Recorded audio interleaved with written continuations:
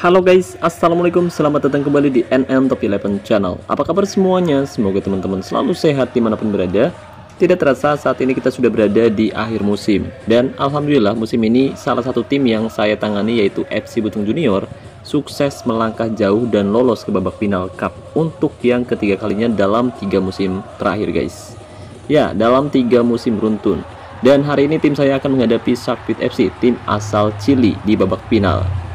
Oh ya, sebelum saya membahas lebih jauh, saya pengen tahu dulu nih perjalanan tim yang teman-teman kelola musim ini. Gimana nih pencapaiannya? Saya harap tim yang teman-teman kelola meraih hasil bagus dan semoga musim ini tim yang teman-teman tangani sukses meraih gelar juara. Ya guys ya, semangat. Dan buat teman-teman yang gagal, tetap semangat pencapaian kalian juga hebat semoga musim depan tim yang teman-teman kelola bisa meraih gelar juara oke semangat guys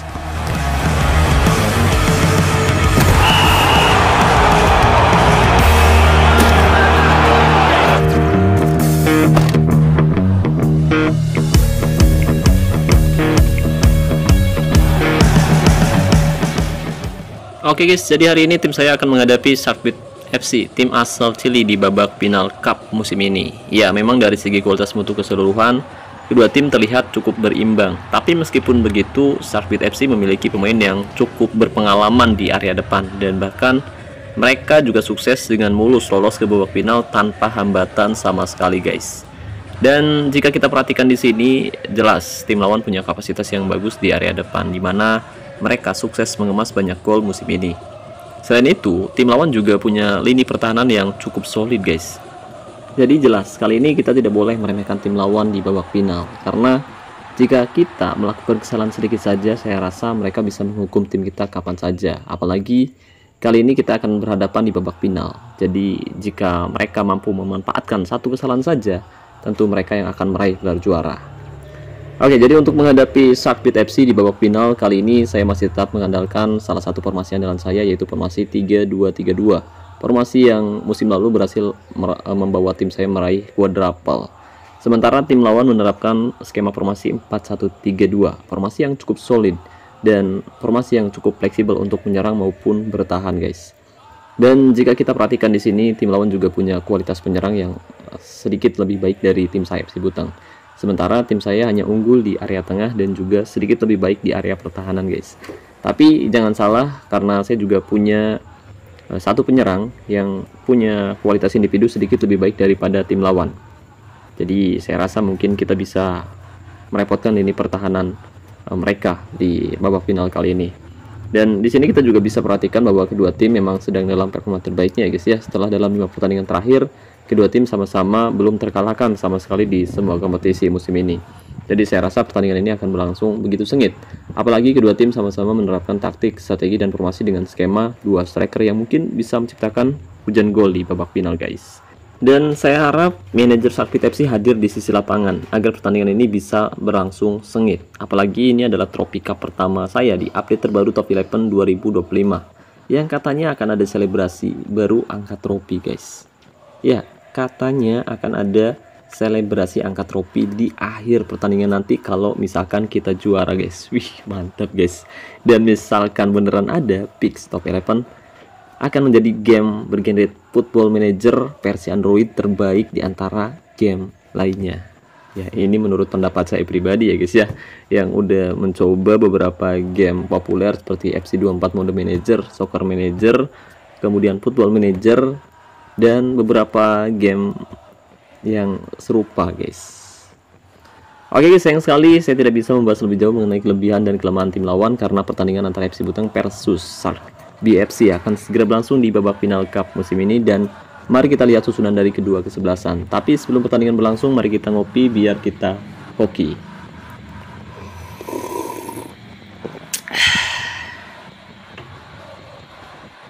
Oke okay guys, dan kita perhatikan di sini para pemain sudah mulai memasuki lapangan dan ini adalah susunan dari kedua kesebelasan di mana memang kedua tim punya kualitas mutu yang cukup berimbang tapi FC Butang sedikit lebih diunggulkan karena punya kualitas individu yang lebih baik daripada Shakpit FC. Tapi meskipun begitu di sini kita tidak boleh meremehkan tim lawan karena bisa jadi justru mereka yang akan mengalahkan tim kita di babak final guys. Dan untuk formasi, kali ini saya menerapkan skema formasi 3-2-3-2, kemudian untuk taktik. Saya menerapkan taktik dengan mental tim menyerang, fokus umpan perpaduan, gaya umpan perpaduan, serangan balik mati, gate kanan rendah, gate tekal mudah, gate penjagaan jaga daerah tertentu, dan jebakan offside nyala. Oke, dan gol tercipta di babak pertama tepatnya di menit ketiga lewat gol dari Palmer, ya gol dari situasi bola ribon, dia berhasil mencetak gol yang luar biasa dan membuat lini pertahanan Sakit FC terkejut pemirsa. Pertandingan sendiri berlangsung di saat cuaca sangat panas ya guys ya. Jadi para pemain akan sangat mudah kelelahan dan kita harus menghindari gaya tekanan tinggi di laga seperti ini. Oke. Lagi-lagi FC Buteng melakukan tembakan tapi kali ini berhasil dimentahkan oleh pemain bertahan dari Sakit FC pemirsa. Sementara Sakit menerapkan skema formasi 4-1-3-2. Formasi yang cukup fleksibel sebenarnya untuk menyerang maupun bertahan. Oke, kali ini Wenda umpan Rabona tanduk saja tapi kali ini Tandukan Modric masih melenceng dari sasaran pemirsa. Ya, satu gol cepat yang luar biasa dicetak oleh FC Butong Junior. Ya, akhirnya kita mampu untuk uh, membuat skor unggul terlebih dahulu di babak pertama, tepatnya di menit ke-15. Kali ini serangan balik dilakukan, berbahaya. Penyerang dari Mara, gelandang maksud saya.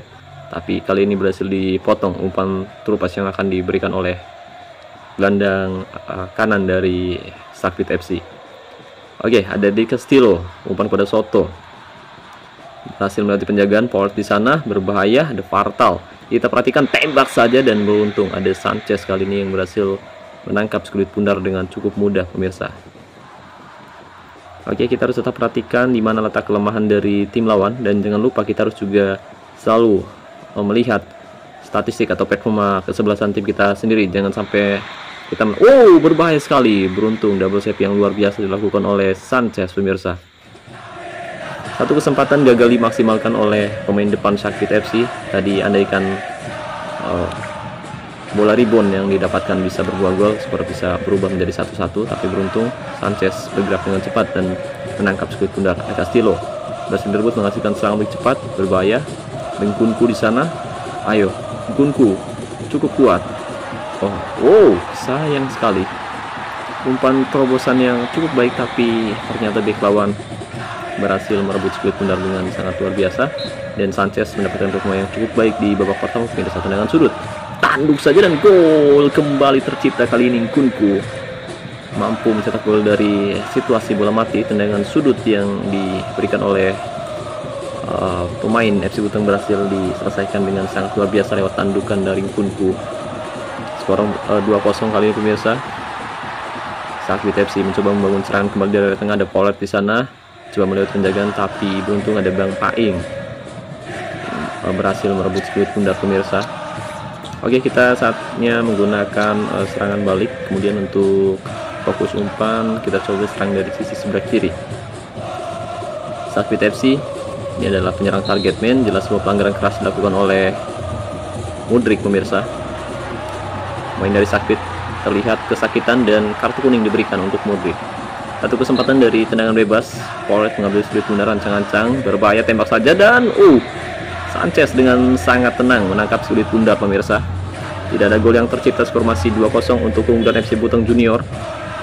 Satu trofi sudah di depan mata, satu trofi cup pertama yang kita dapatkan di versi terbaru Top 11 2025 kali berbahaya. Uh, satu kesempatan marah tidak mampu mencetak gol ke gawang FC Butong Junior ya kita perhatikan. Ada pendukung dari Sakit FC pemirsa. Saya kira teman saya tapi bukan ternyata. Soalnya ini babak final pak. Oh serangan kembali dilakukan ada Jackson di sana. Jackson sendirian bagus sekali. Jackson tembak saja tapi sayang sekali tembakan Jackson masih melambung keluar lapangan pemirsa. Satu kesempatan disia-siakan oleh Jackson. Tembakannya masih melambung keluar lapangan dan paruh waktu untuk sementara FC Butong memimpin atas Sakbit FC di babak uh, pertama. Oke, okay, dari ball possession kita unggul 65 banding 35, kemudian total uh, shot 9 banding 5, 5 on target, uh, 5 shot on target dan dua di antaranya berbuah gol untuk FC Butung Junior, sementara Sakbit FC kesulitan untuk bisa membangun serangan dengan baik dan bahkan untuk umpan sempurna 87 banding 83. Oke. Okay. Pencapaian yang bagus babak pertama tapi jangan senang terlebih dahulu pertandingan masih berlangsung cukup lama, masih ada uh, 45 menit lagi kita perhatikan ada Palmer kali ini menggiring bola dibayang-bayangin 1 2 3 pemain berbahaya dan cool. Oh tidak ternyata tembakan Palmer masih melenceng di sisi sebelah kanan penjaga gawang Sakbit FC pemirsa. Oke sayang sekali manajer dari Sakbit ternyata belum hadir di sisi lapangan. Saya tidak tahu uh, kalau mungkin manajernya sibuk kerja atau mungkin terlalu meremehkan tim saya. Kali ini ada Fernandes umpan uh, serangan balik cepat kali ini Palmer umpan jauh ke depan Kunku yang dituju bagus sekali Kunku mendapat satu kesempatan dari situasi yang sangat baik dan sayang sekali. Tembakan Kunku melambung keluar lapangan pemirsa. Dan di sini kita bisa perhatikan bahwa kualitas mutu keseluruhan tinggi eh, kualitas mutu individu tinggi tidak menjamin mereka bisa mencetak gol dengan mudah ya guys ya beberapa kali kesempatan yang didapatkan oleh pemain FC Buteng berhasil dimentahkan dan kali ini serangan balik dilakukan kembali Jackson Sutriono umpan kepada Mudrik. Bagus sekali umpan kepada Palmer. Akankah berbuah gol Palmer. Kita perhatikan Palmer! Tapi tembakan Palmer masih tepat di pelukan penjaga gawang Sakit FC pemirsa. Skor masih 2-0 FC Buteng Junior masih memimpin Oke, saatnya kita tarik keluar uh, Palmer dan memasukkan Kichaido gelandang box to box untuk menggantikan penyerang Palsnen pemirsa. Oke, okay, masih belum juga hadir di sisi lapangan manajer dari Sakit FC. Ticaido masuk menggantikan Palmer. FC Butang kembali membangun serangan. Kunku, Jackson, pedang Kunku kembali akan berbuah gol. Kunku bagus sekali. Kunku dan lagi-lagi tidak terlalu keras tembakan Kunku. Menjaga gawang dari Sakit pemain sangat luar biasa yaitu Suarez. Dengan performa 7,3 lemparan ke dalam Del Castillo. Ada Baji. Bonde kali ini bagus sekali. Baji kembali. Bukan pada Bonde akan berbuah gol. Umpan crossing. Tanduk. Oh tidak. Ternyata gol tercipta kali ini lewat uh, tembakan poli yang luar biasa. Alright iya penempatan posisi yang sangat baik. Tembakan poli yang luar biasa dari pemain Sakit FC dan kali ini skor berubah 2-1 Sakit FC mampu memperkecil ketertinggalan atas FC Butung Junior. Ada Fernandes bagus sekali. Fernandes gol! Fernandes kali ini langsung membalas gol yang diciptakan oleh Sakbit FC lewat tembakan dari luar kotak penalti tembakan Fernandes tidak mampu diamankan oleh penjaga gawang Sakbit FC dan skor kali ini berubah 3-1 untuk keunggulan FC Butong Junior. Marah kali ini menggiring bola melewati 1-2 penjagaan. Mudrik mencoba membayang-bayangi tapi tidak mampu. Bagus sekali. Tapi beruntung tembakan Mara masih mentur tiang atas gawang pemirsa. Skor masih 3-1 ya kita lihat pemain depan dari Sakti bermain cukup bagus di laga kali ini. Oke saatnya kita tarik Bang Paing yang sudah mulai kelelahan bagus sekali. Ada Mikhailo Mudrik. Tapi tembakan Mikhailo Mudrik masih melenceng di sisi sebelah kanan penjaga gawang Sakit FC ini 86 skor masih 3-1 Ibrahim masuk menggantikan Paing peningkatan performa terlihat dari forward main bintang Sakit FC menit 88 Jackson menggiring bola dari area tengah akan ke berbuah gol umpan ke belakang Sutriono bagus. Sebuah pelanggaran keras dilakukan oleh Cheryl Sutriono terlihat merengek kesakitan. Kartu kuning diberikan tendangan bebas akan dilakukan. Kali ini Jackson mengambil squid benar. Ancang-ancang tembak saja dan uh sayang sekali pemirsa. Tembakan Jackson masih melambung keluar lapangan dan tidak menghasilkan gol untuk FC Butong Junior. Del Castillo coba untuk melakukan serangan terakhir. Soto umpan melebar Mara yang dituju. Akan ke berbuah gol kita perhatikan. Terlalu lama mengusir bola Mara put dan uh tembakan Mara beruntung sekali masih bisa diblok dengan sangat baik oleh FC Butong pemirsa Oke mari kita lihat akankah ada Wih, ini dia selebrasi angkat trofi yang ditunggu-tunggu para warga akhirnya keluar juga. Wih, keren banget, Pak. Oke, dan pertandingan pun berakhir untuk menang FC Buteng dengan skor 3-1 di babak final Cup dan ini adalah trofi pertama saya di update terbaru Top 2025. Di update terbaru Top 11 versi 25.3 guys. Wih, keren banget ya guys ya. Setelah kita melihat highlight goal, kemudian selebrasi dan apalagi banyak hal baru di update top 11 2005 yang membuat juga terkejut ternyata mahalnya top up di top 11 mungkin itu yang uh, membuat top 11 bisa berkembang dengan cepat dalam beberapa tahun terakhir guys ya Tentu kita berterima kasih buat para sultan yang rela ngeluarin banyak uang untuk top up game top 11 dan membuat game top 11 menjadi uh, sedikit lebih baik dan untuk sementara menempati posisi pertama game uh, populer untuk genre olahraga ya guys ya. Mantap guys. Oke dan saya harap mungkin top 11 bisa jauh lebih baik lagi ke depannya dan semoga aja pemainnya uh, playernya bisa jauh lebih banyak lagi dan dampaknya jadi ke saya gitu pak. Semoga ya tapi memang bisa membuat channel saya lebih berkembang lagi. Karena dalam beberapa tahun ya khusus tahun 2024 memang virus top 11 sangat-sangat menurun. Tapi ya saya tetap semangat membahas uh, seputar game top 11 demi teman-teman semua yang sudah mendukung saya sejauh ini. Dan saya ucapkan terima kasih juga buat teman-teman yang telah hadir mendukung tim saya di pertandingan kali ini. Saya tidak bisa sebutkan satu persatu tapi saya ucapkan terima kasih banyak. Berkat dukungan dari teman-teman semua tim berhasil mengalahkan Sakit FC dengan skor 3-1 Oke dan sekarang mari kita lihat uh, highlight goal pertama. Tapi di sini ada juga untuk uh, selebrasi masuk ke dalam reply ya guys ya. Oke ini adalah gol pertama yang dicetak oleh pemain FC Butang lewat skill uh, dribble yang luar biasa Triyono ya yang melakukan tembakan dari jarak dekat tapi masih bisa ditepis. Tapi beruntung ada uh, penyerang false nine dari FC Butang kita lihat. Pergerakan yang cukup baik dan penempatan posisi yang luar biasa dari uh, Palmer pemirsa. Skor 1-0 kemudian ini adalah gol kedua yang dicetak oleh Engkunku dari situasi tendangan sudut. Mikael Mudrik memberikan umpan yang sangat terukur. Engkunku dengan cepat menanduk sulit benar dan masuk ke gawang Sakit FC pemirsa. Skor 2-0 ya itu adalah tandukan yang sangat baik dari Engkunku karena jujur saja di Liga Elit Kunku bermain kurang begitu maksimal tapi di Cup dia bermain sangat luar biasa.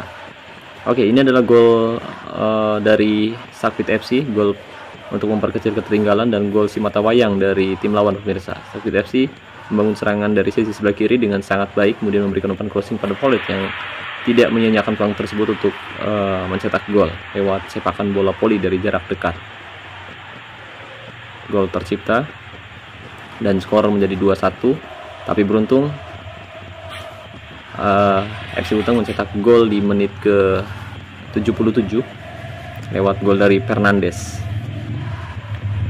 Mudrik berawal dari Mudrik kemudian Jackson. Nah Fernandes dia mencoba untuk melakukan dribble yang luar biasa dari tengah dan mencetak gol dari luar kotak final pemirsa dan itu adalah gol penutup kemenangan dari FC Butung Junior Ya, tembakan yang sangat keras dan sangat terukur ke sudut kiri gawang dari Sakit FC. Oke, dan ini adalah sinematik celebration. Selebrasi yang luar biasa kita lihat. Selebrasi gol yang oh, selebrasi gol, selebrasi angkat trofi yang sangat ditunggu-tunggu tentu saja oleh teman-teman semua. Apalagi ini buat teman-teman yang sudah bermain top 11 sejak lama ya guys ya ini sesuatu yang sangat ditunggu-tunggu termasuk oleh saya sendiri guys. Oke jadi seperti itulah uh, gameplay pertandingan babak final cup musim ini di mana FC Buteng berhasil meraih kemenangan atas Sakit FC dengan skor 3-1 di babak final guys. Mantap. Dan semoga teman-teman juga bisa meraih hasil bagus musim ini ya guys ya. Oke jadi mungkin itu saja yang bisa saya bahas kali ini. Eh, semoga pembahasannya bermanfaat dan saya ucapkan terima kasih banyak buat teman-teman yang telah menonton video ini sampai selesai. Terima kasih juga buat membership Ananta Eleven dan saya ucapkan terima kasih banyak buat teman-teman yang selalu mendukung dan mendoakan saya sejauh ini. Wassalamualaikum warahmatullahi wabarakatuh. Salam olahraga salam Top Eleven Indonesia